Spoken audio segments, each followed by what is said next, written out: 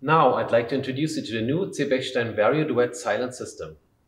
It consists of the control unit down here, the sound module, everything by the way developed in-house by the C. Bechstein Digital, one of the C. Bechstein group companies, who also developed uh, the Vario app, which is available for iOS and for Android. And it connects via Bluetooth, so no cables needed to enjoy the Vario system on your tablet or mobile phone. Also comes with our own C. Bechstein over-ear headphones, available in black and white. And to get started, simply turn on the Vario, move the lever on the bottom right of the piano from one side to the other to mute the piano. And then I'm going to show you exactly what we can do with the Vario app.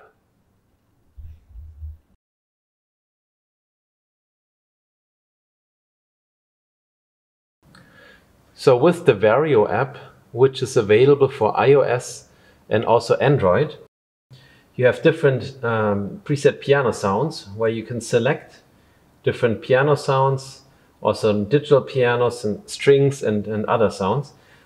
Those uh, you can save to four preset buttons and with the simple touch you can switch between the sounds. And these colors that you will see here you will also find on the hardware module itself, switching in the same fashion.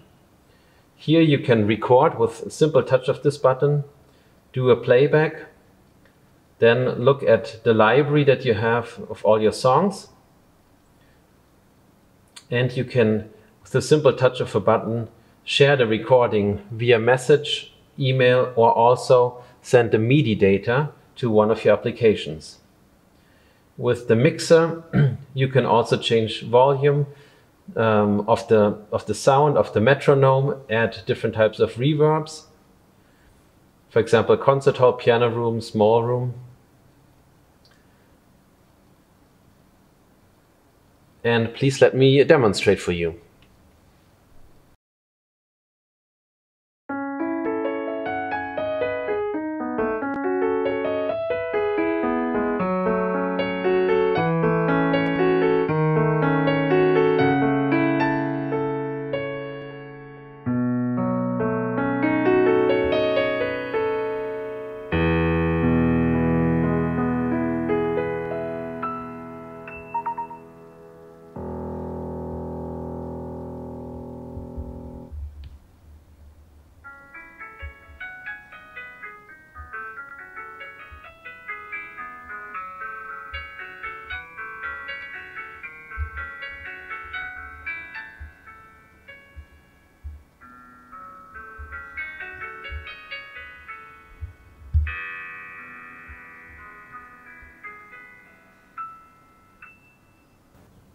Thank you very much for watching.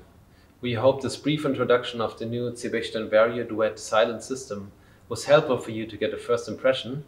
And of course, again, we would like to invite you to visit one of our. Bechstein centers or one of the showrooms of our esteemed partners worldwide, so you can play it for yourself. Thank you so much and see you again next time.